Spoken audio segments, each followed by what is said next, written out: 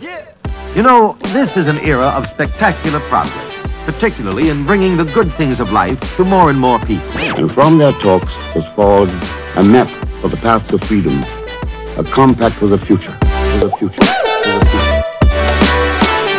A map for the path to freedom. He's so like Narnia or something. Let's do this. Three, two, one. Sherri Yoder, welcome.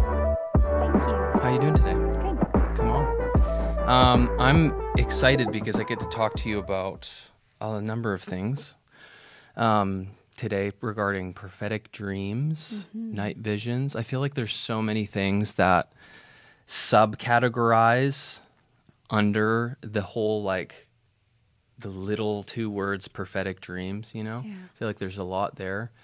Um, but you were a friend and a mother. I would say um, a wildly successful mother as I was processing like Thank you. how um, how do I like introduce and communicate some of the extreme value that you bring to our community? Like just the fact that your kids love you and adore you and hang off you all the time i feel like is a massive value statement and proof that like wow like you're a phenomenal mom good reminder when I feel claustrophobic to think of it that way. When I'm being smothered by them. Yes. It's good. Yes. I can't wait to be smothered by children. It'll be it'll be a thing. We're we're working on it. Yes. Um you also lead worship at Jesus Culture. I love um Uh-huh. love doing BGV there, yes. Huh? Um BGV is background vocals. Mm-hmm. We can make up some other fun. Some other acronyms. acronyms. Okay. I like it. Um you should tell me a little bit about that. Tell me about your journey in getting stepping into worship. Yeah. Um, Chad and I used to lead worship in a small church setting in Canada Yeah. years ago, and even more years ago in college campus setting. Um, and then definitely just started leading our kids into it in our home, um, just with guitar or piano, and and just bringing. Um, no matter what the day looked like, just trying to bring a song. Sometimes it looked really messy. Even the other night, actually, Chet just felt like God was saying, "Keep, keep pressing in with your family for worship, no matter what it looks like. It doesn't Yeah. always feel natural." Um, but definitely felt like there was always a pull on my heart that it was amazing to play in my home. It was amazing to um, just do that with our family, but there was something more. And he actually visited me in the night season about it repeatedly, and I just stewarded um, dreams about being on the worship team for a few years. What a beautiful segue. Yes, and wow. it, yes, and I had no idea that that was actually part of a huge part of your journey. It was Yes. you were dreaming about it a ton. yeah, really specific dreams, Oh and just my gosh. just stewarding them, just being patient with them. There was nothing in the dreams that made me feel like I was supposed to make something happen. Just trusting him Yeah. to lead that into fruition when it was time, and and it and it did did happen very naturally when it was time. So Wow. I'm so thankful for that because it was so right and the timing was so his. Wow. When, yeah, when it came to came That's to be. incredible. So I'm really. It's still very surreal, and it's still That's incredible. yeah. So- Wow. That's amazing. Um, I almost don't even know where to start because um, I feel like the realm of the prophetic, um, prophetic dreams. I mean, it's inherently biblical. I was doing some some little bit of research, Yeah. and I found out that over one third of the entire Bible pertains or is related to a dream or a vision. Yes. One third Yeah. which is also fascinating because we spend a third of our lives asleep. Right. So by the time we're 60, we spend 60 by the time we're 60, we spend 20 years Yeah. like dreaming, you know? And I feel like we kind of just write off the night usually, Right. you know, and we're like, "Oh, well, like my experience with the Lord is during the day." Yeah. you know it's um, like that is the, the the primary place that the lord will speak but i just came to a place and i'd love for you to speak to this a little bit um, maybe even share some of your journey with even with the worship team because that's a core part of who you are as as i know you as a friend um, Like that's a prop. That's I, to me, it would feel like a very um, just a near and dear journey, you know. Um, Yeah. But I just came to a place of I'm just not. I'm not gonna give away my nights anymore. Like I'm gonna like. What if our nighttime could have more revelation than the day? Totally. Like why not? yeah. why not operate in that place of expectation with the Lord? And I mean, the Bible is just chock full. Hopefully, we'll get into some stuff, but Yeah. um, why don't you tell me some of the significant? You don't have to talk about the worship stuff, Yeah. but Sure. a couple significant dreams that stand out to you, like what ha- what happened, what was the Lord saying? Okay. Um, Um, just in general. Yeah, There's one actually I felt like I was supposed to open with, and so I, I have it open here in my notebook. Yeah. Um, when Kira was, our daughter was seven years old, um, we were at a time in our lives where Chet and I were so um, insatiably hungry for the Lord that we, um, at that time, this is this happened before, but we took our kids um, 24 hours or over 2,000 miles on Amtrak all the way from Canada to um, Vacaville, where we went to see Heidi Baker and Yeah. Georgian and Winnie Banov, and that was just a, an incredibly awakening time in our Christian lives. Um, so that's where we feel like so much happened in our revival season in our hearts of our family. wow, And right before that happened, Kara was seven years old, and um, we hadn't talked a lot to our kids about having dreams at that point. But she came down to us in the night or in the morning, and she was just coloring and doing whatever, just her normal breakfast routine. Mm-hmm. And all of a sudden, she she just kind of indicated that she had had a dream. So she's seven, and I was like, "Oh, what was your dream about?" And she said, "Oh, I, I dreamed Jesus was in our house, and he lit up the whole house." yeah, and I I started to realize like there was something different here. And I was fascinated that I was going to be able to enter in for the first time of her explaining it. I felt really nervous like, okay, how is she going to tell this authentically? So I just started to ask questions. I said, "What what was he like?" And she said his eyes were shiny light. wow, And I said, What else? She said, His whole body was light. And I said, Wow, like, how did you know this was Jesus? She said, His hair was brown, it was shorter than mine, and he had a crown on his head with jewels. And at that point, like, our kids had seen Bible cartoons and different things, but they Sure. definitely weren't going to like a, a children's um, church setting Yeah. like they have at Jesus Culture where they're being fed like totally. the like the, the likelihood of Jesus, what he looks like, and um, so this was very authentic. I asked her what room um, of the house was he in, and, and she said he was in every room of the whole house at the same time. wow, Um, he was wearing that white thingy, she said, with a blue sash over his shoulder, and then that was it. She went back to coloring and wouldn't just wouldn't talk about it again. I mean, it was just as matter of fact as can be. And I think I feel like she was seven. seven. Yeah. And I had had many dreams in my childhood. Um, I was saved when I was um, a young child and went through a lot of night terrors in my home and and so I feel like when she had that dream and I Hmm. Yeah. my eyes were open that God had revealed himself to her at such a young time there was a shift in our family where we started to be very expectant asking the kids you know what they had Wow. dreamed about asking them Now, And was the- it that point that really opened something up for your family? there was a shift. And I think also then I was able to look back in the past and be like, oh, wait. oh, you put some of the pieces together, type thing. Yeah. And um, this was before we'd even um, done training where we'd heard from Kris Vallotton about Yeah. asking your kids about dreams. And so it definitely was like very engaging for our whole Hmm. family. Um, and there was a shift, there was an expectancy that came in. So that was a really marked season um, of many dreams. That's actually the first page of this dream book that's been filled, and I'm on to another one. Wow. That was in 2012. Um, yeah. So That's it's really incredible. special. This, I feel like there's a there's this place with the Lord where it's it's like I feel like it should be normal to experience the Lord at night in a way where we're like seeing with him, interacting with him. Like there's a number of like I know Graham Cooke. He has consistent or like Bob Hartley is another Yeah. prophet. They have consistent experiences and encounters with the Lord Jesus Yeah.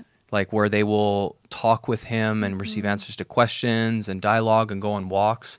I've had a couple dreams with Jesus, but I think one of the significant pieces here is like you um I feel like our we we consider dreams all that we write it off as oh that was just a kind of a you know a, a mental im- imaginative Right. thing that I just subconsciously you know thoughts running through my head and I wake up and it means something but I feel like these are real encounters Yeah. that we're actually you know these are experiences that that we're having. Like you even look at Solomon in 1 Kings 4 I believe it is where he goes to sleep and the Lord comes to him in his sleep and asks him um like I'll give you anything. What do you want? Yeah. and Solomon asks for a hearing this is in his sleep. Solomon asks for a hearing ear. Yeah. he asks for wisdom but rightly translated it's a hearing ear and um, still in his sleep the lord says because you've said because you've asked for wisdom and not money or Right. fill in the blank i'm going to give you everything Yeah. i'm going to make you ruler even eh, like abraham in genesis 15 like god made a covenant with abraham in his sleep Yeah.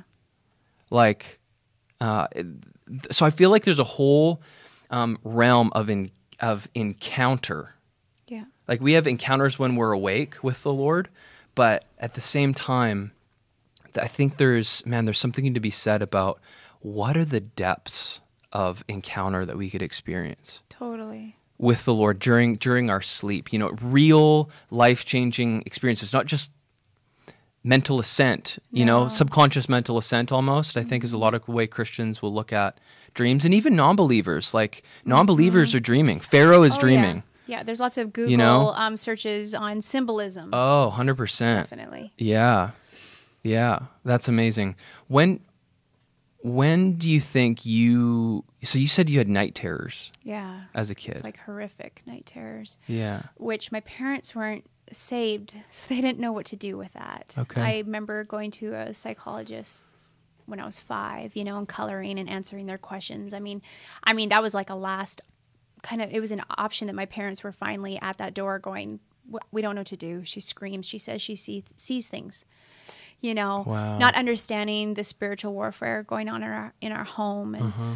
um, so I think that to also it, it'll bring an interesting point that maybe we can touch on later too is is the difference between knowing this is like a quote unquote god dream Mm. or maybe an attack Mhm. and is that possible to have a dream that's an attack as well you know because now Wow. i feel like i can decipher it yeah. there's maybe a checklist that i can go through to to decipher Yeah. if this is an attack or if it's you know Yeah. um, but back then I didn't have a grid for that, and and so um, I don't I don't remember a lot um, until my parents were saved, and then and then I, I don't remember much of an active dream life. Um, I don't remember much of my dream life in, in my junior high and high school years, but um, definitely when I was a young adult, and then more so as a mother. So Wow. um, Let's talk about that cuz I I think that's so significant for believers, non-believers alike is I think the enemy is freaked out by our callings. yeah, Like there's something I think there's something in the spirit that we wear our calling around with us even as little children. Like we the gifts and callings of God are irrevocable, I believe it says in mm-hmm. Romans, right? So we ha- we own that. Like that's not mm-hmm. something we get later. Right. Like anointing can come later, greater measures of Holy Spirit can come later, but I think as when we're kids, you know, we there's something discernible in the spirit realm ab- about you know what what we're gifted in and supposed to do with our lives. yeah, And so even before we know the Lord, I think you know there, uh, one of my favorite things is that um, the, the enemy doesn't counterfeit or excuse me, he doesn't create Yeah. anything. He Right. just he only counterfeits. And so that being said, for every twisted counterfeit, there's a righteous real. yeah, So it's fascinating to me that me knowing you now as the prolific dreamer, like you're probably the most prolific dreamer I, I know and as my as a friend currently. Um, like weekly, nightly just incredible, incredible stuff. And I've had seasons, and it frustrates me that like I don't know that I believe in seasons Yeah, of that's like an interesting more. Mm-hmm. We could talk about that too, but Yeah. I'm like looking, hearing that you had night terrors as a little girl is such. It's the enemy showing his cards to me. You know, Yeah. he's like freaked out by your life because this is going to be a contact point for Sherri and the Lord mm-hmm. for the rest, and she's, she's going to tr- change and transform stuff. And so, oftentimes, I think high level giftings are attacked as children. It's almost like you could look at what was the trauma in your childhood Right. and then reverse engineer your calling. yeah, that is interesting. Isn't- haven't actually I haven't really thought about it that way. Isn't Yeah. that fascinating? It's like I don't I look even at my childhood and different areas of rejection, different areas of um, learning disability, Right. um, you know, uh, relational conflicts, um, these different things. And now I'm a pastor Right. and I'm doing and I'm I'm teaching Yes. yeah, where school was like I've actually had the Lord tell me like you know Curtis the greatest injustice of your entire life was that you were expected to learn the way everyone else learned in Yeah. public public school system Yeah. um because I'm just not a standard like visual auditory learner I'm a very different like I'm a do it Yes. feel it make like saw boards and frame houses Yes. while you learn That's true. That's, that's Very true. There's a yeah, there's Yeah. definitely a carpenter build it, make it awesome side there. Um, but yeah, I see that in my life as well. No, that's a really good point. Yeah. Yeah. So um, let's talk a little bit about the attack thing. Yeah. Um, I don't have night terrors. It's pretty rare I have a dream that's even considered what I would call bad anymore. Yeah. And if if it has a negative or twisted slant, I almost always just wake up and and claim the reverse. Whatever the enemy's trying to bring a lie. Yeah. You know, whether I wake up and feel shame or guilt or feel dirty or anything like that. Um, just declare the opposite. But I do still have um, this sort of like attack pattern of sorts that um, it's kind of interesting because I feel like there's a physical slant to why it happens and then there's a spiritual slant. I am really sensitive. I'm a sensitive person to too much stimulation. So, in the day and age of an iPhone and all that hmm. entails, which that for me, I only had my first iPhone about six years ago, or maybe even five. So, or my first on. phone. Yeah. And I can mark some differences in my life that happened at that time that I will constantly talk to my husband and be like, Do you remember like 15 years back? Wow. Those issues were not in my life.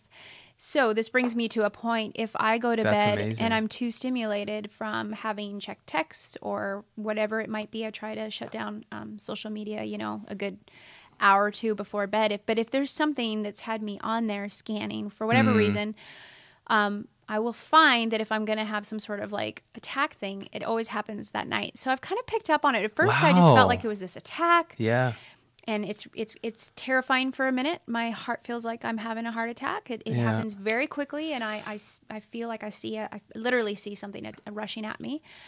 Um, but I'm able to go to sleep in the next second. Just able to look at it. It used to really rattle me, and Hmm. now I'm able to just, you know, just literally ignore it and go to sleep. But I've also felt like there's been this personal responsibility over my night season that I've had to guard a little bit. Hmm. Yeah. Like, hey, I'm maybe a little overstimulated, a little overtired. Um, I find Yeah. there's a pattern there with that. So Wow. I don't know that I would label it it's the enemy, or Yeah, else yeah, it's also like, hey, did I really guard my night season? I'm entering a Wow. whole. It's like half a day, right? It's like I'm entering this part of my day. Yeah. Have I stepped into it? You know, offering it to the Lord, just claiming His blessing of peace and sleep and rest. Wow. And I think you and I have talked about that before. Um, just like we have a we have a holy responsibility to Mm. claim our night Mm-hmm. and our sleep. And um, so anyway, that's just an interesting thought. That's really good. One of my um, one of my favorite verses, I believe. Maybe you can correct me if I'm wrong. It's either Psalm two eight or Psalm four eight. Um, but it says, "I will lie down and sleep in Yeah. peace, for you alone, O Lord, make me dwell in safety." Yeah. Is that? Do you remember the reference? Um, No. No, Close. there's another one, um, just that he gives sleep to his beloved. Yeah. That's been a huge one for my life. yeah. So Yeah. claiming his, For sure. his sleep. when you do have a um, a heavy dream, Mm-hmm. um, when you have a heavy dream that you don't, it's like you can. It almost feels like it's prophetic because it's detailed. Stuff happened. Mm-hmm. Yeah. Maybe you, maybe that could fall into the realm of a night terror. But what do you wh- what do you do with that? Like, do you think the enemy can throw dreams at us? I mean, certainly that dream that I may have just had, I can tell right away if there's not if that is not how God sees me or sets Yeah. me up, then Yeah. that was not from him. There's for Yeah. me there's a clear cut. Yeah. So I'll often just walk the dream out in reverse. You know, like or the opposite. Mm-hmm. So I'm not that You just person. flip it. I don't have that thought about that person Yeah. or I don't I don't hide in deceit. That's not who I am. Yeah. Or I don't steal or whatever it is. Yeah. Yeah, and just flip it, Yeah. declare it, don't spend another second on it, done. Totally.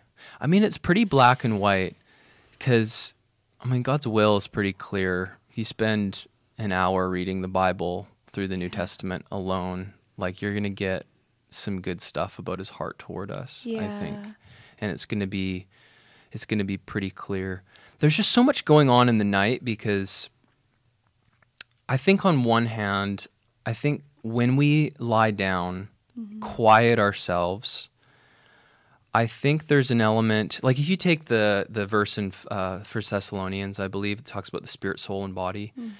I don't actually fully agree with that model because we've mm-hmm. taken that verse, I think, a little bit out of context and said, like, There's we've three compartments. we've put Greek mindset on it. Is it's like mm-hmm.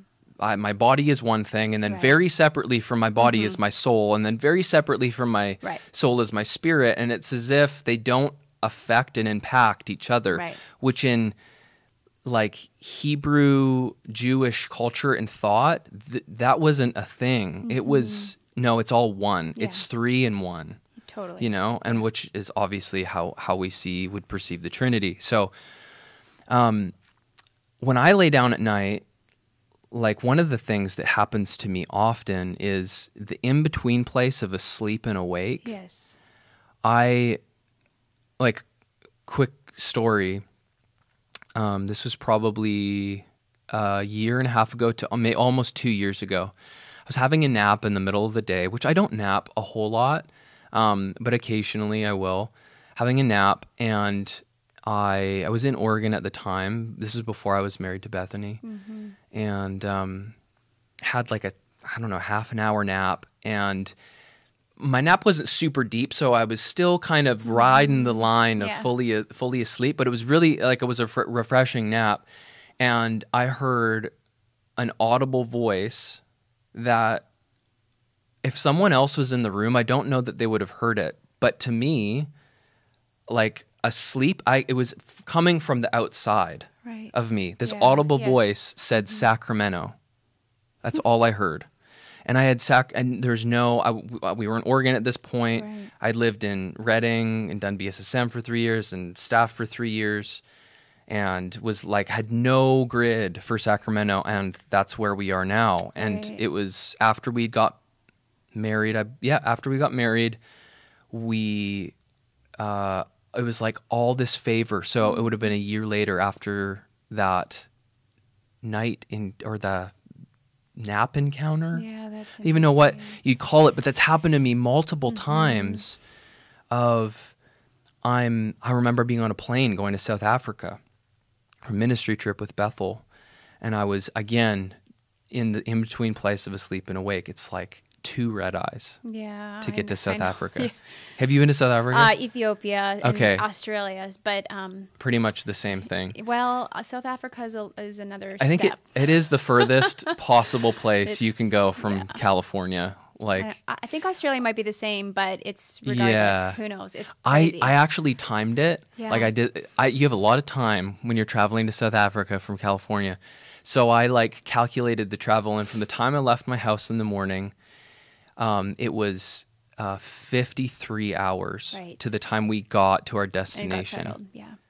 53 hours is a long time to like not fully sleep. So I'm in that awkward place on the plane, one of the final planes, and um, I have this dream. I can't remember the exact details, but it was. Um, I got the name of a ministry. I think it was like Hope Reformation Ministry, and then the name. I think it was like the name, um, like Sam, or something, Wow. and um, uh, and then I think another detail about a healing, like someone needed a healing if it was like a left Yeah. elbow or something. I can't remember. And so I get we, the first meeting. We we were, we were doing crazy stuff. We we traveled for that 53 hours straight into a conference. Of course. Sherri straight into a conference. I was mad. I wasn't I wasn't oh. leading that trip. Well, I was no, I wasn't leading it that at that time. This was in my second year. I was mad though. I was like, this is not healthy. No. This is convenient. But the Lord still moved. So I we end up doing words of knowledge at the end and I give this word that I'd got and two there was two women, I remember now. It was two women and I, I had their name, both of their names and both of them one had a like Hope Reformation ministry Wow. and the other was connected to one, it was two. It was a two for one. Yeah. It was ridiculous. And then there was a, a follow through thing with the healing as well, which was uh, incredible. But that in between place, Yeah. um, I think, I think there's something that happens there where our soul gets really quiet. Yeah. There isn't the distractions of the mind, and it's mm-hmm. as if the Lord just has a full on. He just makes a beeline Yeah. for our spirit, and I feel like He might have an ability just to communicate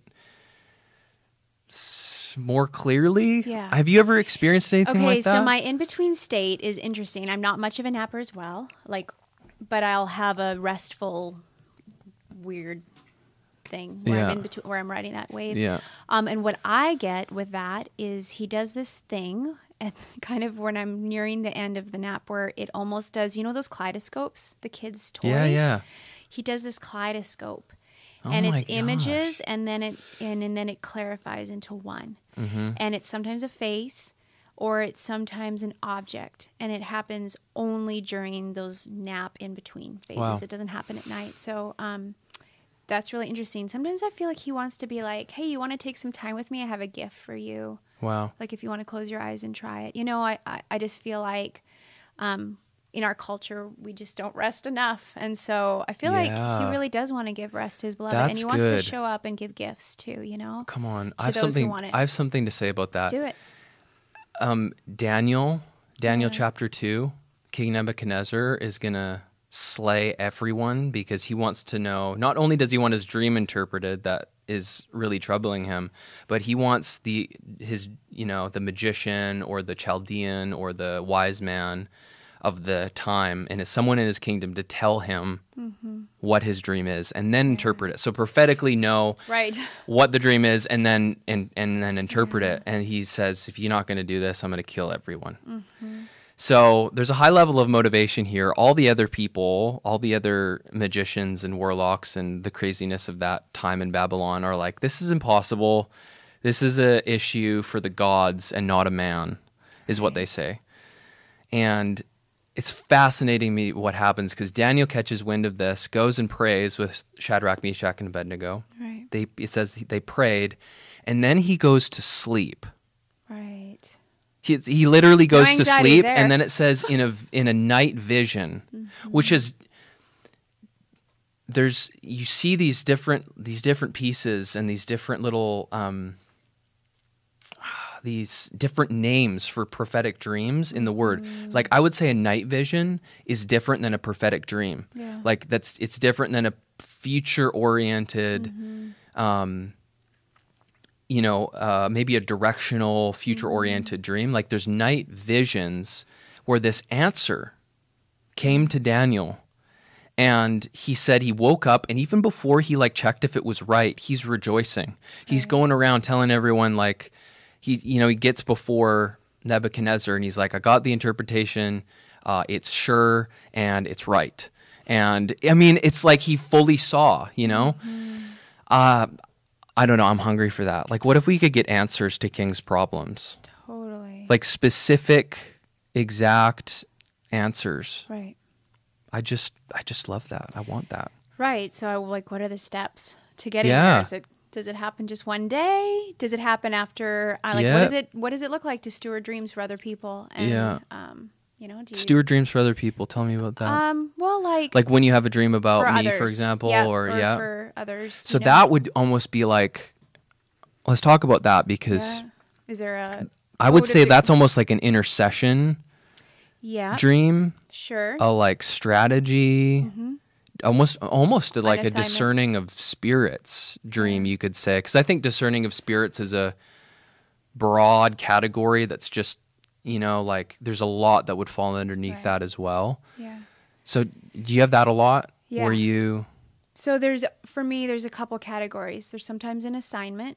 Sometimes it's a really vague assignment. I once um, heard um, Tigest in Ethiopia needs medicine. So Yeah. I don't know a Tigest in Ethiopia. I was a child.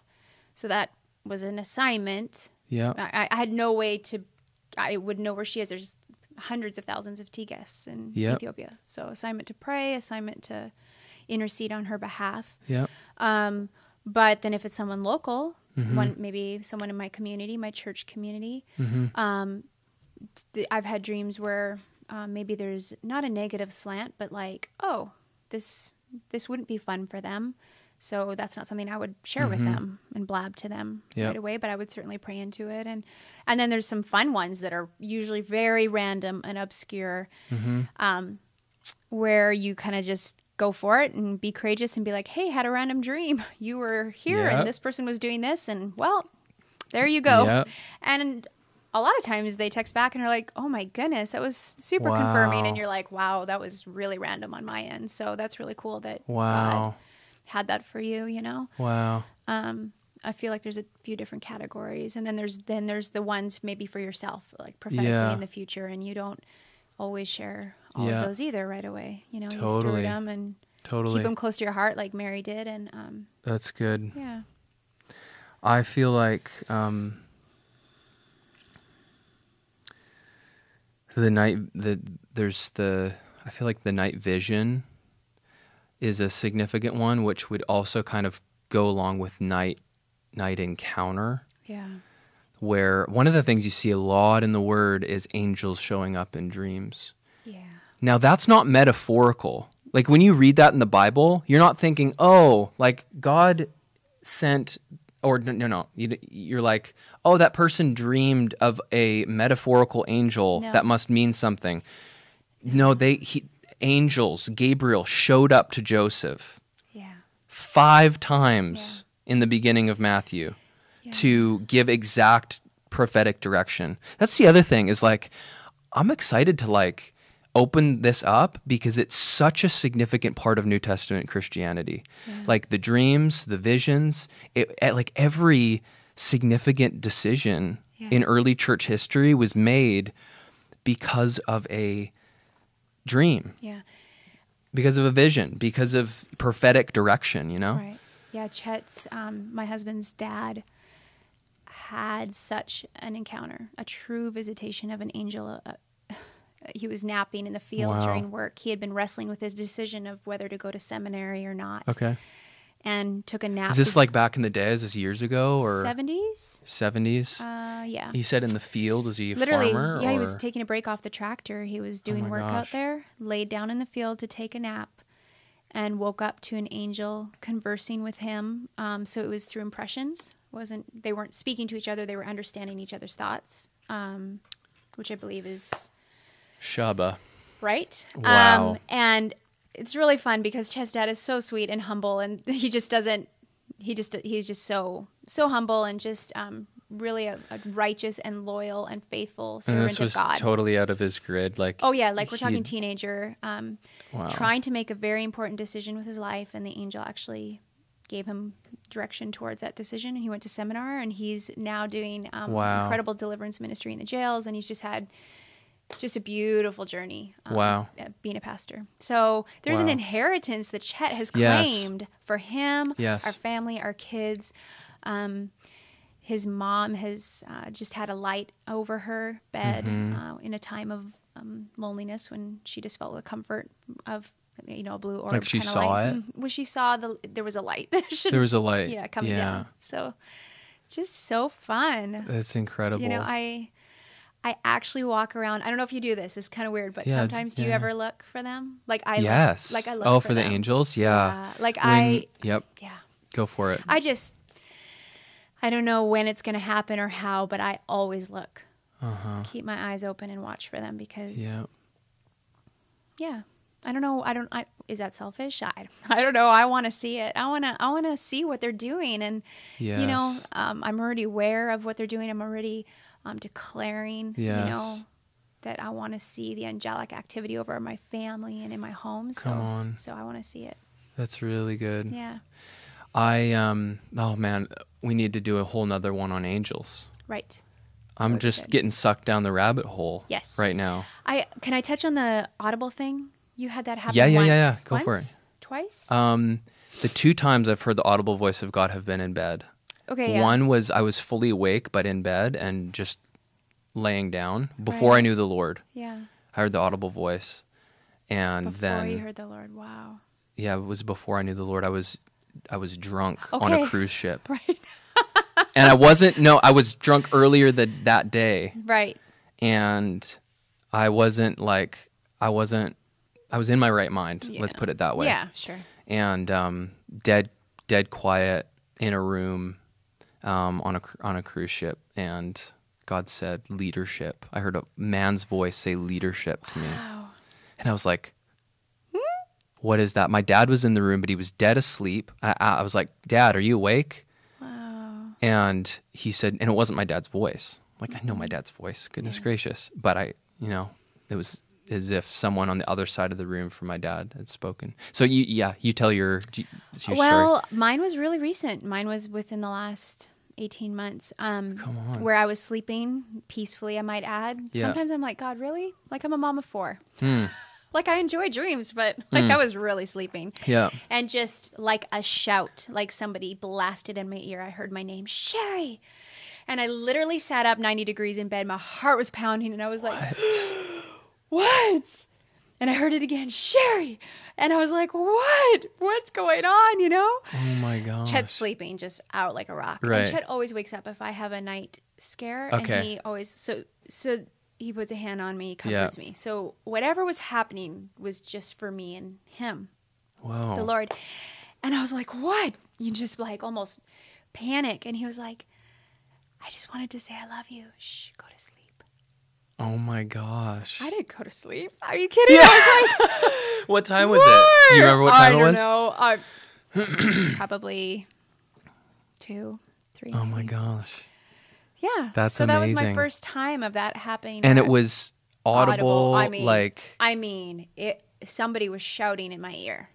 wow. It's mean, it like was- it's I like Chet, Samuel. "Did It's just like Right. Samuel. But he was having fun with me. Yeah, that's so cool. you know what I mean? Like, Oh, he- that's so you, too. It was hilarious. That's so you because like you would do that to your kids and probably have. Oh wow. Yeah. You would do that to your kids and that's exactly I love that. he has such a personality with us. Yes.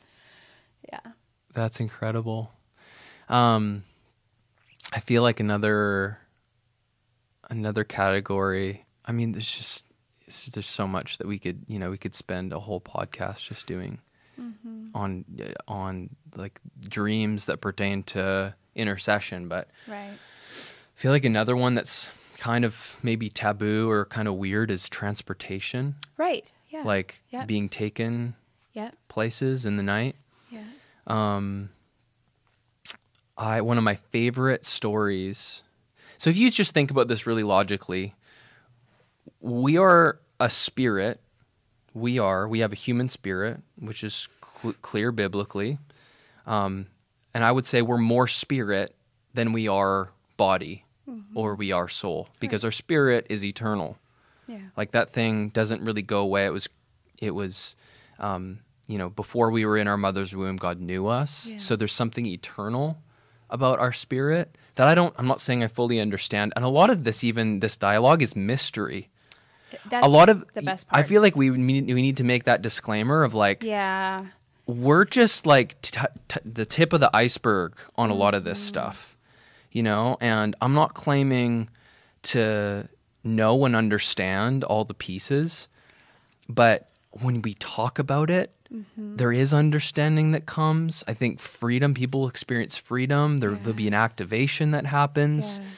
more happens. You know, so I, it's just worth talking about, even though it's full. It's full of mystery, and there's so much more. You know that I'm not. We're not claiming to have the full understanding, but mm-hmm. um, if you think about it logically, we're a we have. I would say we are a spirit mm-hmm. currently in a body, which is maybe a funny way of saying it, but that's I think the more eternal way of looking at the mm-hmm. reality of you know where we're at right now. Yeah. And there isn't really like you look at Jesus being resurrected, raised from the dead. That guy walked through walls. He ascended. He even when he before he was raised, he moved through crowds, Right. like huge crowds of people that were trying to throw him off a cliff. It says Yeah. Jesus hid himself and just miraculous did he hit people in the face no like he i think he i don't know dematerialized or something i don't know Okay, this is funny because we climbed Lover's Leap. Um, it's a, it's a hike in Yeah, yeah. California the other day, and from their vantage point, I looked at Chet and I was like, you know, when Jesus said he went away by himself, yeah. Somehow I think he was here, yeah. Looking out over this. Don't tell me he didn't come to California, okay? come on. Seriously, Come he knew where to go. yeah. That's real. So I- E- you look at i mean even matthew 4 um, where like jesus is tempted in the wilderness and he goes up to see the the the kingdoms of the world. Yeah, you know that's like a kind of demonic encounter but there's a principle there that to- it, it was jesus Yeah. you know? Like it's it wasn't sin because jesus was sinless. Yeah, um you know he he just he just did crazy stuff. Yeah. so all this is all set up for this story. Um, one of my favorite testimonies about transportations and this is you can even look up there's a couple times in acts philip is transported from one Yeah. place to another with the ethiopian. Um, so if this is weird i would just say go do some Yeah. research like look it up Yeah. it's it's hidden in the word um, but one of my favorite stories uh, bssm so my pastor ben armstrong uh, in first year when I was doing first year school of ministry at Bethel Church in Redding. Um, that I was had graduated first year, was in second year, and so the year after uh, after me, the next incoming class of first year, there was a um, young girl. I can't remember her name. Young girl. They were get, getting ready um, to go on a missions trip to Mexico. I may have told you this story. I, I can't remember. I'm not tracking fa- yet. there's so. many elements to this that are like, oh, it'll preach for days, and it just exposes the Mm-hmm. nature of who God is. They're getting ready. It's you know months before the trip to Mexico, the missions trip, because every year in April BSSM does just everyone's gone Yeah. and they go all over the world Yeah. type thing. This is the same context as South Africa. That story. Um, so they're doing a pre, uh, like a, a team meeting. They're doing a couple team meetings before they go. Just get ready, get fired up, pray into it. Ben, the pastor, feels like um, God's going to start releasing dreams and like counsel in the night about the trip. So Okay. the team, you know, receive it Yep. That one of these girls immediately goes home and she starts dreaming of an orphanage. Starts hmm. dreaming of an orphanage, dreaming of an orphan- orphanage.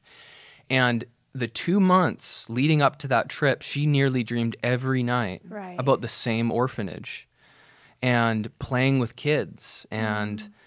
this, you know, this whole thing. And she's like, God, I, she had no idea what to do with it. She's like, I have no box for this. Like, what, you know, w- w- what are you telling me to pray for an Right. orphanage? She had, she didn't know what to do. They go on the trip. First day of the trip, where do they go? An orphanage. Right. Show up in an orphanage, and she doesn't really recognize a whole lot. Um, or you know, she'd never been there before. And immediately when they arrive, get out of the buses, the children surround her and are laughing and screaming and shouting and all this stuff and they're like going crazy and she can't speak spanish so she's like what's going on they bring an interpreter over And the interpreter is like, These kids are saying they know you. They've been dreaming about her. They said, No, this is You've what the kids said. The, here. the kids said, You've, th- you've been playing with them uh-huh. every day for two months, nearly every day. They know you really, really well. Chills. She didn't know them, but somehow, and here's my point like, why wouldn't a really good God Right. multiply missionaries and send people in the middle of the night to do stuff that uh, of the ministry? So good. like it's just it speaks to me of like there there really is like when the angel said in Luke 2 I think like nothing is impossible for God like he really meant it. Oh yeah. You know what I mean? And I think you can get into some weird stuff with like trying to go places. Mm-hmm. Right. Yes. And I don't think I think I don't really see that in in the word. No. Like I think we need to be careful with that. And like I think when we're in Christ, the only place I want to go is I want to be in Christ. Yeah. And Wow. then I feel the presence of God on that. So good. The only place I want to be is in Him. And then He does the rest. Like He will Mm-hmm. take us and He will put us in the right in the right place at the right time. yeah. So I don't know if you've ever had anything happen happen like that. I've had a couple things, but Yeah. nothing that I could definitively like prove. I have I'm friends with people who have had some radical transportation stuff happen. Um, I guess before I knew it was a thing, I was picking up on. We talked about this the other day about daydreams. Mm, Okay, so what is that? Is it Right. okay? Is it bad? What's the what's the productivity of daydreams? What's yes. Um, but I believe that you know when I'm doing things that are unto worship for Him, washing dishes, taking care of my kids, all of a sudden, if I notice my mind is somewhere else, Mm, um, that is where I will notice that I'm in a different place. wow. And I and it, I don't usually notice it till after, and I'll be like, why was I all of a sudden leading worship at a jail in Africa, Whoa. releasing words? You know why? Wow. What, what was the context? I had no grid. That's fascinating. okay, so that That's happens. totally fascinating. that That's not just often. like oh you're thinking about what you're going to you're daydreaming about the lake you're going to go to no, no, tomorrow. No, no, no, this is nothing you know? currently in my environment. Yeah. Almost, Or even almost like on your mind or, or, almost on my mind. Yeah. it's almost always something that which that I probably couldn't do right now while I'm homeschooling four kids. You know what I mean? But I'm but I see faces and Yeah. I I see stories and Yeah. and I yeah, and it's why not? Why like what is Yeah. that? Is that a is that a homeschooling mom at home fantasizing about doing missionary? I don't think so. I, Totally. I'll notice it after that it was in my mind and I just feel like then I I just I don't even feel like I have to seal it. Yeah.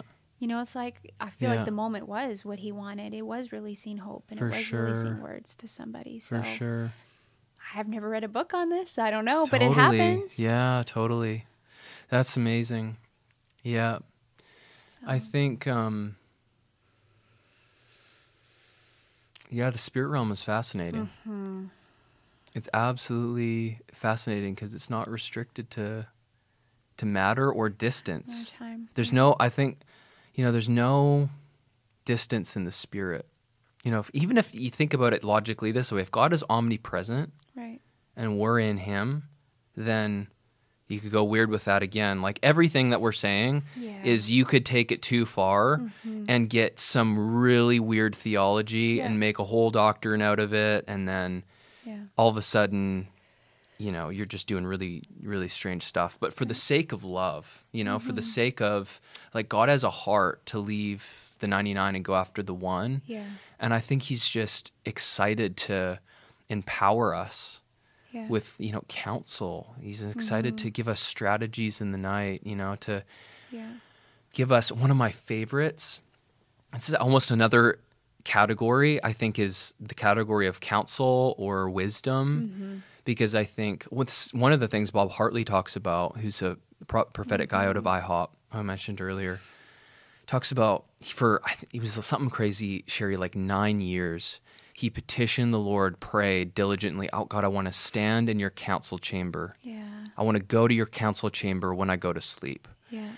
and I can't remember the exact stuff he would pray, but it was along those lines. Talked about and- being at a table too Mm, with him. yes, and now and he goes all the time now Yeah. you know and has w- wisdom and insight but one of my favorites one of my favorite stories is um, and you see this in the word a lot as well is dream interpretation in the dream Yeah.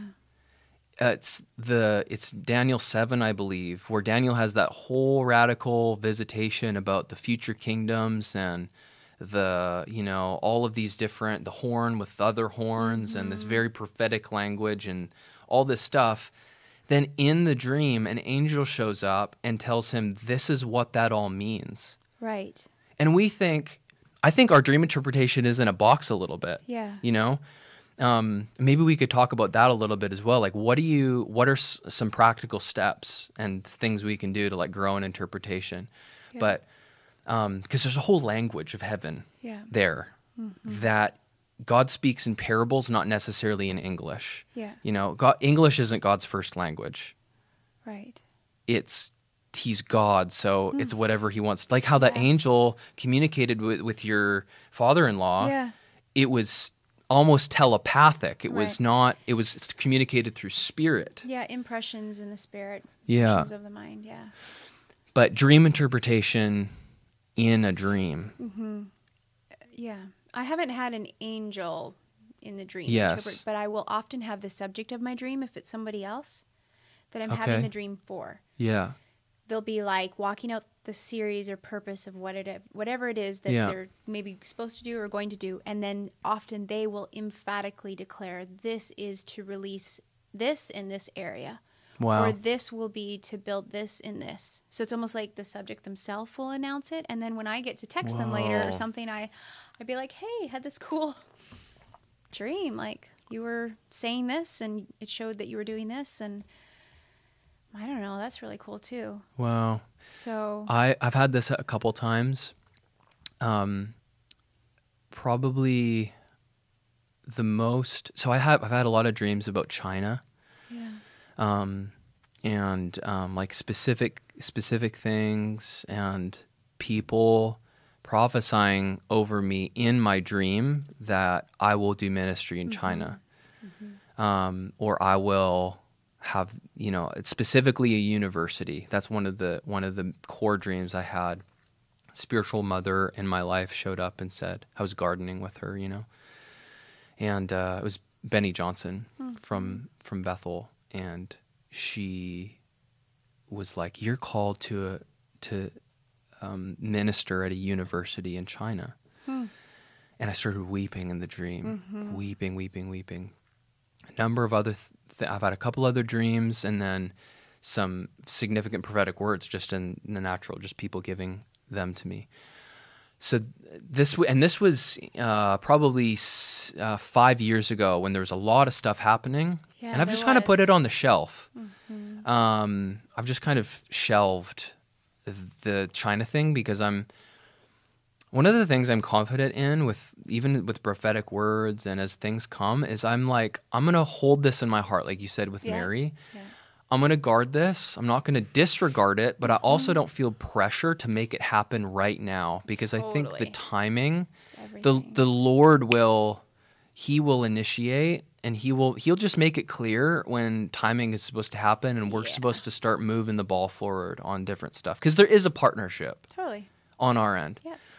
But I yeah, I, I I was having these dreams about China and then it was a, like a year later and I have this dream that I won't go into the details because it would take too long, but I have this dream where Brian Johnson, another Bethel guy, comes to me and he's talking about um, tigers. He's talking to me about oh no, I'm sorry. He's um, the Brian Johnson dream was the second one where the interpretation happened. The first one was I had this I had this dream about tigers. It was just about tigers and there was my family was involved and then I'm like what does tigers represent? Right. What like what what is this? Because it wasn't necessarily bad in the dream. The tiger mm-hmm. wasn't necessarily bad. Then I'm like, God, what is he? What are you saying? I have no idea what a tiger represents. Mm-hmm. You know, I have no idea what the interpretation. So the next night, I have this dream where Brian Johnson is playing worship in my bedroom, and he says, "Tigers." He says this in my dream. Tigers represent wells and springs. Wow. And I'm like, okay. So I wake up, I'm like, that's fascinating. I still kind of don't know what it means. So I'm like, well, there's a like China and tigers. And then I'm like, uh-huh. well, I wonder if there's such a thing called, you know what, to be honest, I don't even know if China was on my radar because it, this was a, it was like a year after all the China stuff was going down. And I, um, I Googled where we all go to our, you know, to get prophetic interpretation. Yeah. I Googled tiger wells and tiger streams. The only place that came that came up on the planet was this university in China Wow. that was in this the this central spot that was like called uh me, I can't remember the exact name, but the university is called Tiger Springs, Tiger Wells. Yeah.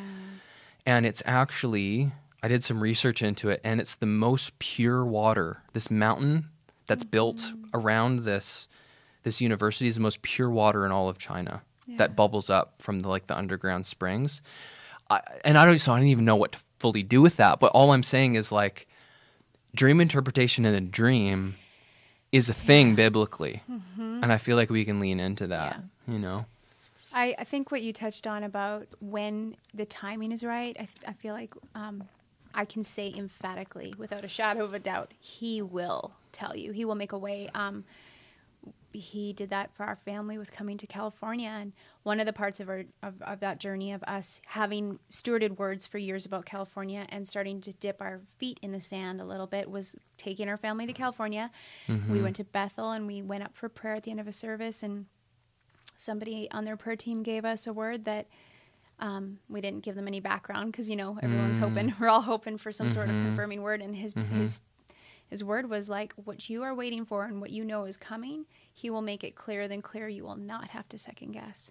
And that was the cry of our heart as parents with four kids moving internationally. We didn't want to do it for any agenda except for his. So we didn't we needed to know that when he made it happen, he'd be covering our family, he'd be covering our kids' hearts, Wow. everything they were leaving, and he did that. So I just feel like it's fun. I mean, I guess you have to ask yourself, what form enga- of engagement do I have with that word? Yeah. Are you going to go to China one day and yeah. find a university and just put your feet in the sand and say, "Hey, God, wow, you'll show me when it's time," and wow, and uh, but I know I know that he will make it clear. I feel like mm. that a lot of people need to hear that. That if there's mm. something that they know they can't make happen on their own, but it is always always on their heart or it always keeps coming up in their radar that mm-hmm. he will he will let he will make it clearer than clear. yeah, He's kind that way. that's really good. So He is. yeah, yeah. He he he doesn't need to he, he doesn't need to have our comfort level always be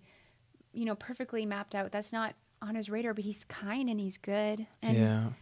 and he answers. He gives good answers to his children and um, yeah. Tell me another significant dream Um, of of yeah. Sherri's history with God. Just one that keeps coming up in my mind here, and it's actually more recent. Was this this our for, our first home that we just bought in California? Yeah. we'd been um, we'd moved here and been part of uh, Jesus culture for three years, and really um, starting to be curious if if we were going to purchase our first home here in California or if if we were going to continue renting. And so a really cool story is that I had this dream in chronological order. I had a dream first, so I'll share the dream. In the dream, I I asked my earthly father, my dad, who lives in Canada, I asked him, I said, Dad, I want a house with a, um, not a timber frame. It was, uh, what do you call it? Um, Open frame No, beam. yeah, it was a, a timber beam um, Mm. kitchen. Mm. And I want it to be white and Wow. um, and I want I just I want it to be yeah I want it to be a timber frame like it and I saw it I saw it in my mind and in the dream my earthly dad my dad he said well of course I'll do that for you and, Yeah. and I said really and he's like uh, what wouldn't I do for my child so I woke up Wow. had no grid for it had no Yeah. we were still in a good renting situation Yeah. we didn't know yet that the Lord was releasing us to buy. Um, technically, we didn't even know if my husband would if we'd be able to buy yet because he's an, he works for himself as an independent contractor and you have to work for a certain amount of years to be able to purchase a home and land and so we were kind of around that deadline but so after this dream like months later and I wrote it down um, we get a notice from our landlords of our home that we have 30 days to vacate um, that they're moving back in you have four kids, four kids and and that's that- not a yeah, small process. no, it's not. Um, Yeah. We trusted that if this was happening, God was stirring something up. So we were like, okay, Hmm. that's God. okay. That's very interesting because a lot of people would their lens would be this is an attack from the enemy. No, You know. no, we so were tell almost, me we were almost giddy, that's amazing. especially because the timeline wasn't even right. Like I don't even know if that's legal. a lot of people just go honest. in go like inward and like either what did I do wrong to cause this to happen or you know what's the devil doing and get all warfare and Yeah. which yeah sometimes you need to get into some warfare stuff and bind some stuff and lose some stuff but you just immediately was that a conscious choice for you to go It was a pretty natural choice. Like Yeah. it didn't feel coincidental. I just don't believe in that anymore. God is too purposeful. I, I just I could see to the end of the 30 days and I was like, hey, we can always pitch a tent for a bit. Like I didn't there wasn't a That's need to be worried. yeah I didn't know where we were gonna go. yeah The probably the most aggravating thing I'm really organized is I wanted to know how to pack. I was like, God,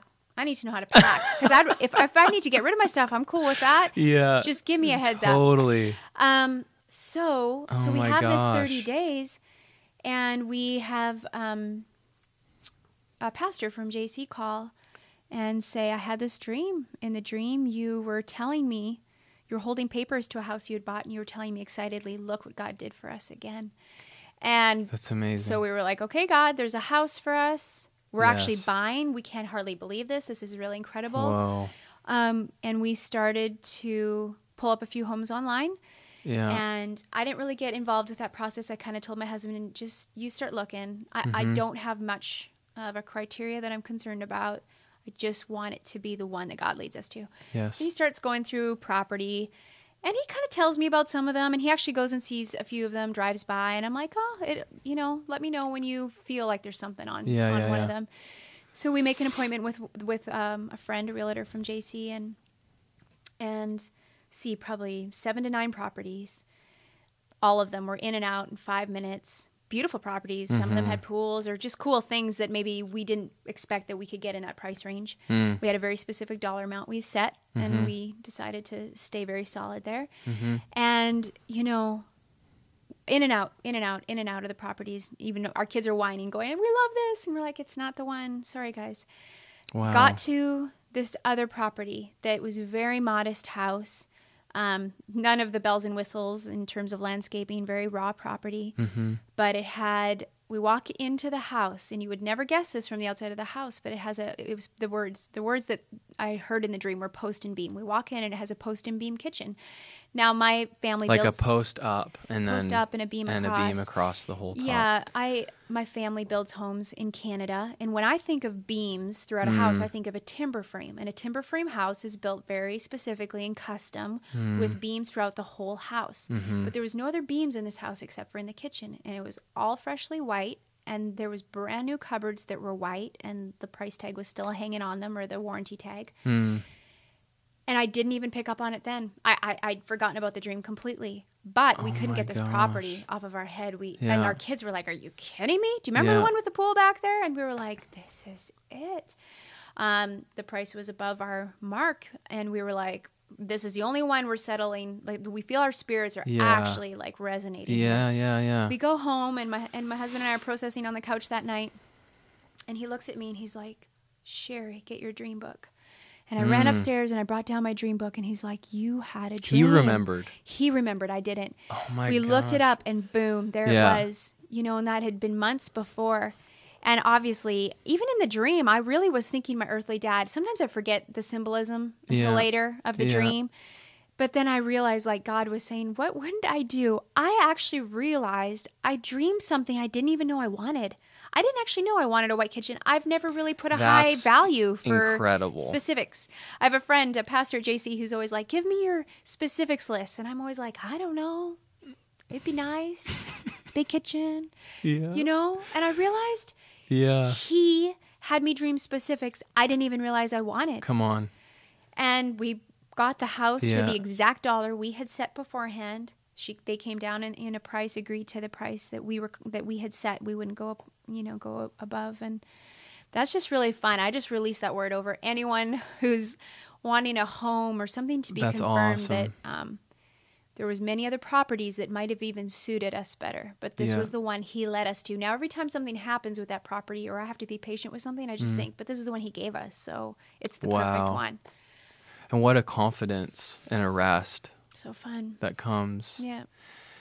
I was I've been uh, maybe a month ago reading Psalm 37, and I think it's verse four that says, "He will give you the desire. Delight yourself in the Lord, and He will give you the desires of your heart." And I actually felt like the Lord spoke to me and said, "You know, that's not just me giving you what you already want. That's me putting inside of you what you don't even know you want yet. Right. He will give you the desires of your heart, Mm-hmm.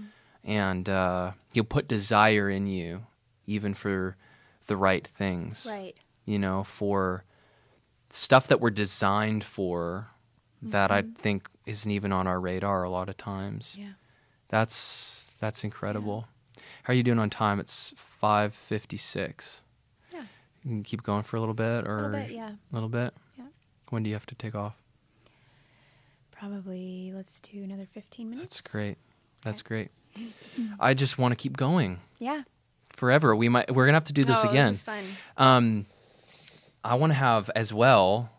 Like we could easily do another thing on dreams, but for sure, I want to have you and Chet on your Yeah. your husband. Right. Like I'm talking about some Yes. cool dreams. My husband doesn't dream as frequently, but his dreams are so Oh, but when he does, symbolic. I just look at him and I'm like, what?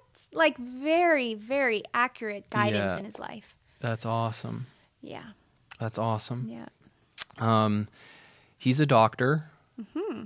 And uh, he's written some books and Yeah. does amazing work. And you guys are like health um, revolutionists, and I value that very much. I'm also Yeah. on a bit of a Yes. physical wellness wholeness journey. I think when you get healthy in your body, it dramatically impacts and affects your spirit. Totally. And the same thing goes with your soul. yeah. You know, Yeah, they- there's a lot of overlap there. Mm-hmm. Yeah. Even what you're t- saying at the beginning with just stewarding Nighttime. the night, yeah. that preparation time, that like um, getting quiet, Yeah. getting still, not distracted, so you're set up. Yeah. Bill Johnson, just uh, real quick, Bill Johnson says, you know, the ba- uh, victory actually starts in the night. If you want victory for the day, it actually starts at night. Yeah. Bill has some amazing, an amazing sermon that comes to mind on that's on YouTube, Bethel Yeah. Church sermon from probably 2014. Mm-hmm. People could could dig up. But what were you gonna say? Um, you were talking about preparing for the night. Chet has this funny thing. He will not go to sleep if his dream journal or, or just his whatever it is his dream journal if it's not open with a pen laying on it. Mm, So I will hear him in the night roll over in the dark and scratch it out. So he has to write it down in the night.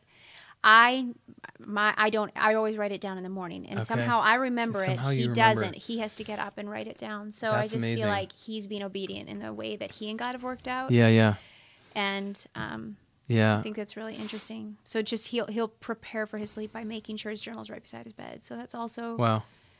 something. Be if you are ready for dreams, ask the Lord. Like Mhm. ask the Lord for dreams, and then start writing down things. And you have to not laugh at. You have to be okay with writing down weird stuff, That's good. especially initially. I think That's to good. pick up on that language. Yeah, you have no idea what it means. It feels like a pizza dream. right. You know, it don't feels like like, yeah. yeah.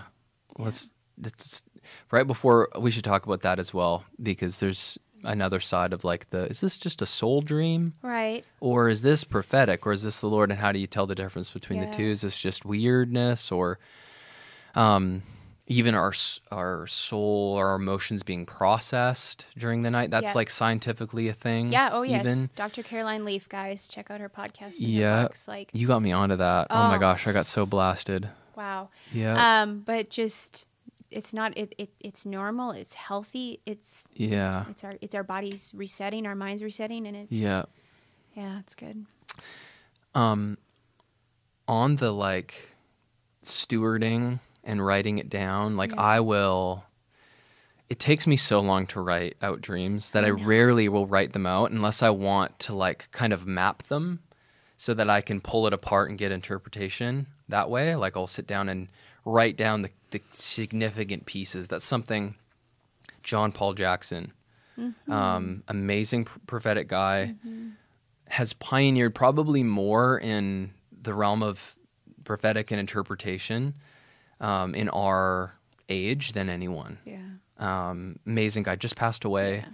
Uh, there's a lot of great resources online, so that for people that are like interested in mm-hmm. in more and more understanding and some really like practical stuff, he has some amazing resources. But for me, I'll, I'll put my phone right by my bed. I'll just have my phone. I'll yeah. have it on airplane mode or whatever. But I kind of don't like sleeping with my phone in the room. But You if voice I, memo. I, I'll voice memo Yeah, it exactly, and that is it's hilarious listening to my my I've voice heard memos one. I've heard of- one when you're like of my like full on asleep groggy voice. It's hilarious listening to them, and I'm like not processing information fast at all, and I'm trying to find the language for a dream that wasn't in English. Right. So it's they're funny to listen to again, and then it but it'll trigger my memory, and Yeah. it's easier than Yeah. scratching it out I know. in the middle of the night. But here's something fascinating. Thomas Edison. I, I you probably don't know this because this is a really weird fact. Thomas Edison um, would um, he somehow figured out that the in between place of asleep and awake was full and bursting with the seams of creativity Yeah. and innovation and answers answers from where but heaven, right? Right. And I don't even actually know if he was a believer. He very well could have been. I don't know. Yeah. But he was known to um he would set a table in the middle of his like shop at work type thing and he would uh, lay down in the middle of the day and hold big ball bearings, steel ball bearings in his hand and lay on his back in his in his uh, shop and uh, he'd hold the ball bearings in his hand so that the moment he fell asleep, They would. they would drop to the ground and wake him up. Yeah. And he would get, um, like, and so he could remember what he was thinking about or the stuff that was coming to him the second before he fell asleep. True biohacker. Literally, it's- this is real. And he got, I can't remember the exact reference, but he got some sort of chemical equation, um, like just this exact, it was a formula, chemical formula for something that was impossible to solve. And he got this number sequence, which is even, I just remembered another detail. He got this thing, then f- um, forgot half of it. Like he couldn't remember half of it. And he was like, no, like I just had this. And he went, he did it again. He went to sleep again, dropped the ball bearings, and got it again. Like the Lord gave it to him again. Isn't that weird? Well, he pressed in. He did. he certainly did. Wow. Oh, it it reminds me. I'm sure. Of, um, like Kris Vallotton tells a story. Before he was a pastor, he was running. He was a mechanic. yeah. Yeah. All sorts of.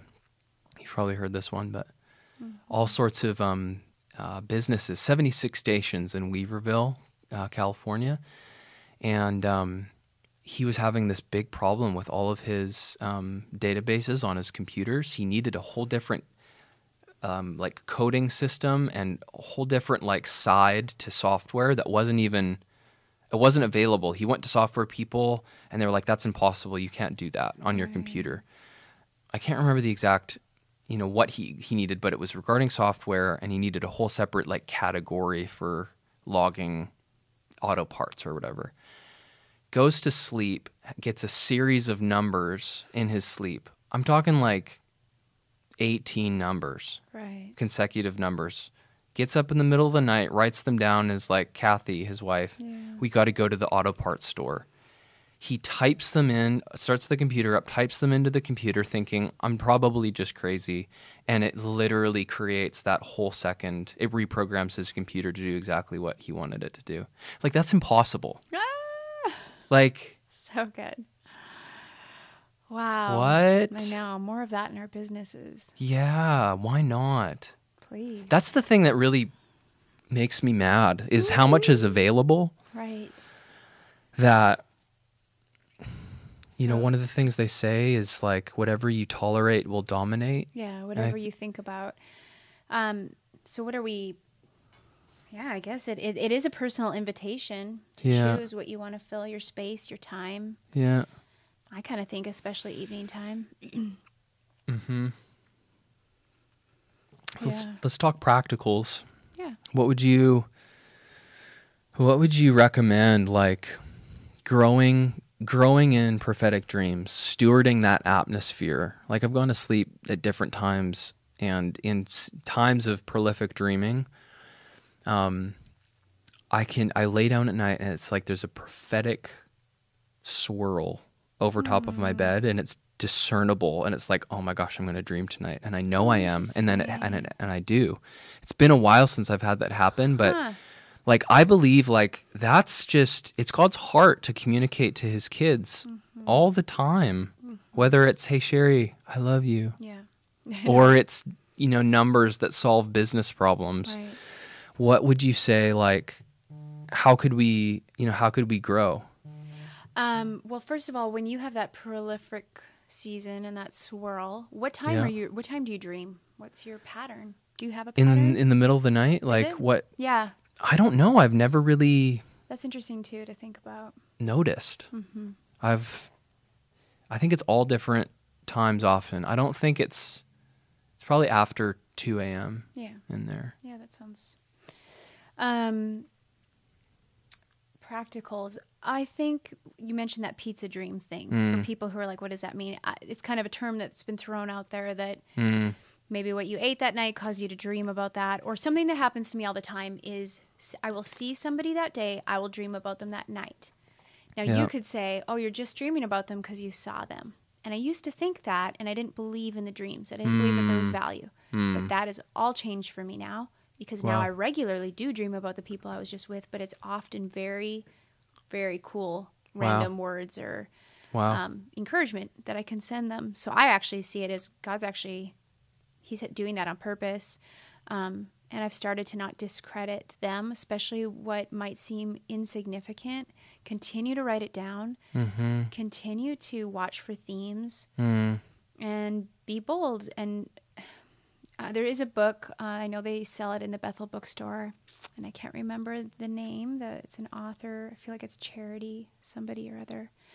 Um, there's a dream on or a book on dream interpretation, and my husband dove into it. Um, you could probably put it in the podcast notes when I send it to you later yeah yeah and he dove into it, took all the practicals. It really helped him decipher his dreams. I found Wow. the details a little overwhelming because Yeah. then I feel a performance thing come over. Like now I have to actually Hmm. make everything work. But just from listening to my husband and some of the things he taught me, um, I have noticed a shift in interpretation coming a Mm-hmm. little more frequently and, and easier when it didn't before. So I Hmm. think there's some application we can take ourselves to study it, study dreams. yes so good Like I, So I could good. tend to be lazy and just be like, no, I'm good. Me and the Lord Yep. are good. But when I did take some time to look at the way, then symbolism happened more in my dreams, and I was able to understand the symbolism instead of just think of it as a literal thing.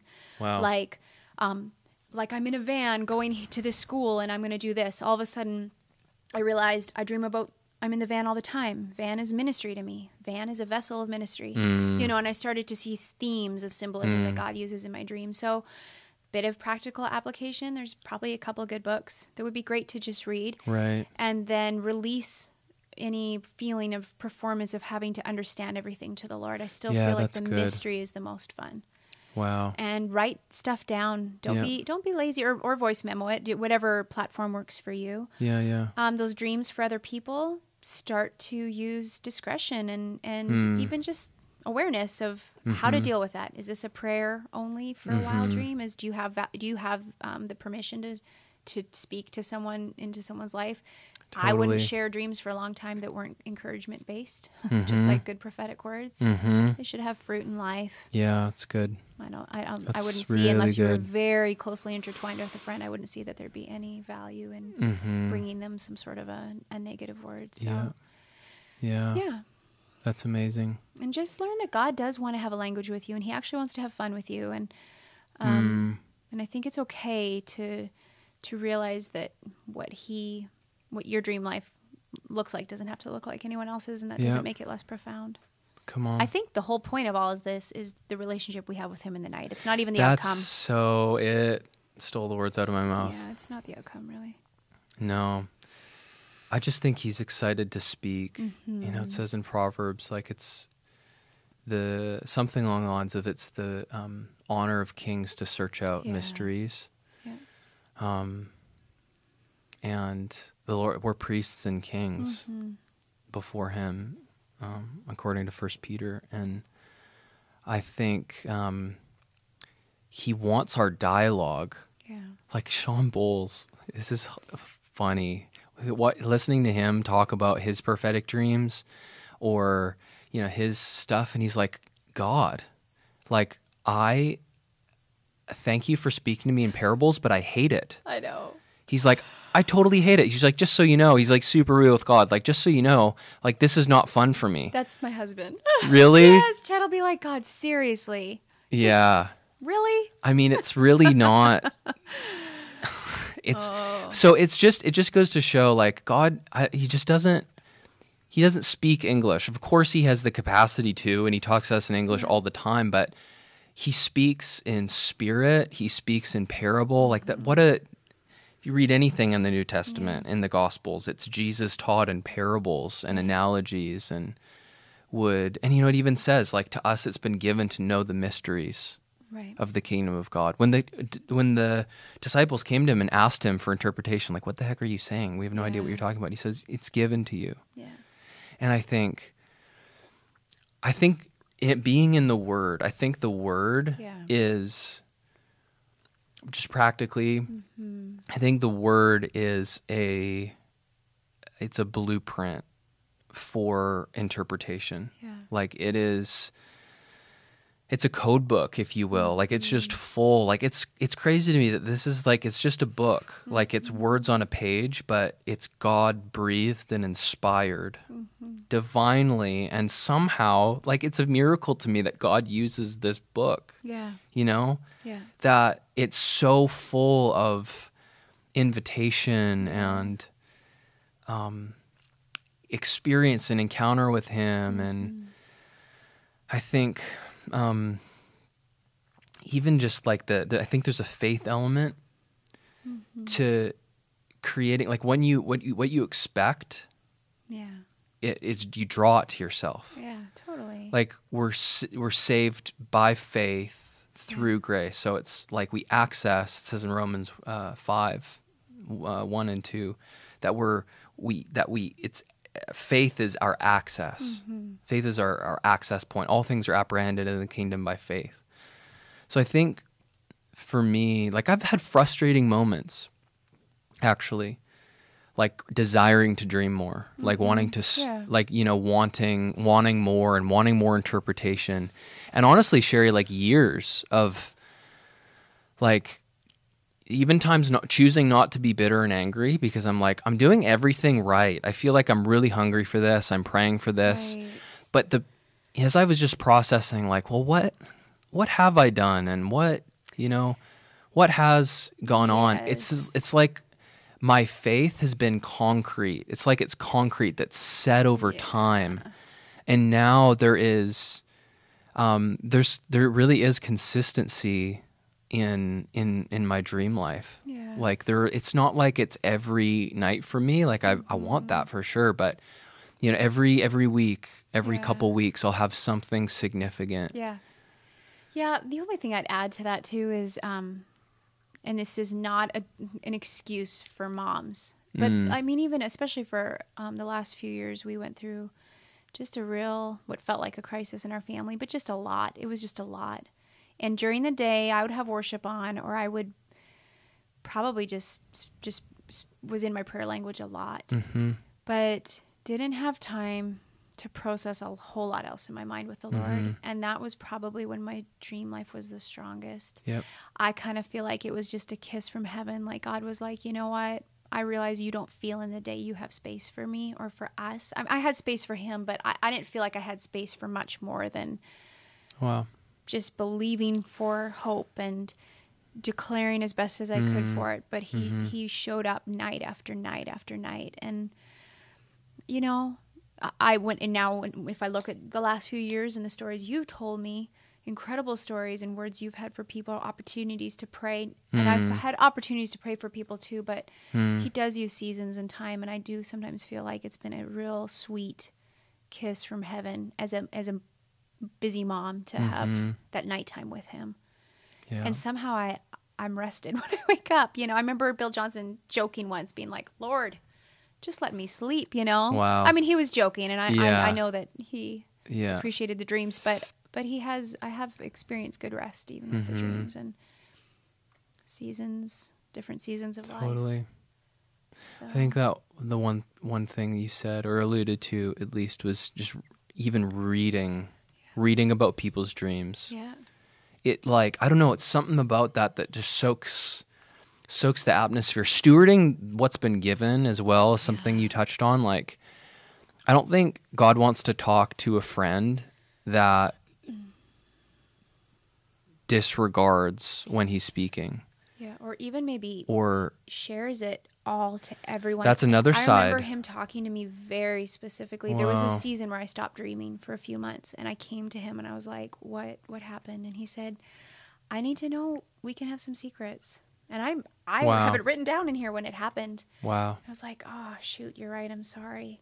Wow. Yeah, and I- and I tell I told him, Mm. "Give me your secrets. I'll keep them." And Mm. you know that doesn't. And sometimes we share encouraging dreams, Yeah. or I mean, he was talking about other things. Just that he was like, "I need to know that we can have this, and you're not gonna Mm-hmm. just expose it." Mm-hmm. So It's amazing. yeah. What's your process there? Like, how do you figure I out if you're supposed to say, tell it or not? Oh, that that's um, I kind just of it's just a discerning like sometimes I'll conversation with him. a discerning conversation. Sometimes it's pretty black and white. yeah. Or sometimes I'll be like, "Hey, my my good friend here at JC, if she heard me telling somebody this, would she be cool Yeah. with that?" Like, Yeah. I think once if you've had any healthy prophetic training Yep. with prophetic words, which you can certainly read Kris Mhm. Vallotton's prophetic manual, or I mean, there's just a handful of good. Mm-hmm. Um, take that same practice into Yep. sharing dreams. Share for the encouragement and, and Mm-hmm. betterment of others. And if there are dreams where you're bringing a bit of a challenge, mm-hmm. make sure you're you're walking closely enough in that situation with somebody where they would be able to receive it and you in turn would be able to receive their feedback so Totally. Yeah and then the rest you you pray and declare Yeah. you know what you see over the situation or, or what you see it Mm-hmm. becoming so That's good. hmm Sherri Yoder, yeah curtis roberts thank you so much. thank you This was awesome. yeah feel like we got somewhere. I feel stirred up. I'm just I'm I'm ready to go and dream and get more in that prophetic Yeah. river. We should have a And three that- month touch back on We like, should. hey, what happened We uh, we absolutely And should, and from yeah, and from other people. Um, it, it like testimony prophesies. You know how it says in Revelation Sure. 19, testimony of Jesus. This is spirit of prophecy. When you talk about stuff, even like I think that's a practical thing. Like for the dreams, you're not supposed to share, keep secret, keep them secret. Yeah. But talk about them with the Lord and talk about your other dreams. Yeah. Like I am. I don't feel like I'm the greatest at interpretation. no i, I don't You know what I mean? But I always ask people to tell me their dreams. Mm-hmm. And I talk about my dreams because when they're they're easily forgotten, even if they're journaled, I'll like go over them. I want like I want to keep these things. You know, these are experiences and encounters with Jesus Mm-hmm. yeah that are life shaping, life changing. I mean, there's there's so much goodness and value there, and I think when we just even conversations like this, atmospheres change. I think even the angelic is stirred and they're, drawn, you know, to bring bring more. yeah yeah So, thank you You're welcome. This was amazing. Yeah, it was. And I will have you and your husband on soon, That would be fun. next time. Okay. Thanks, Sherri. Okay. These lights are so bright on my head. Come on, friend. Thank you. Now you can dish up all the bad dirt on me of all the times where I came to you with dreams and you were like, shut up, Sherri.